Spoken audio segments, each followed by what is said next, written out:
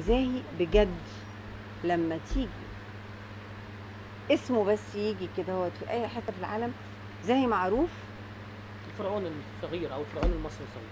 ولأنه هو غلى الكنز الفرعوني بتاعنا واثارنا في عين الآخر. هو اللي غلاها هي غالية. غالي آه بس هو عمل لها polishing مم. قدمها بشكل مختلف. عشان كده بقى أي حد عنده النهم إن هو يجي ولما بيسمع إن زاهي هيقابله في الهرم زي ويل سميث ولا. غيره ولا غيره ولا غيره بيبقى بالنسبة له ده target تاني. فزاهي phenomena في الحتة دي وعرف يستعمل ده وعرف يعمله صح ويصوره صح ويغلي حتة الآثار في عين كل العالم أكتر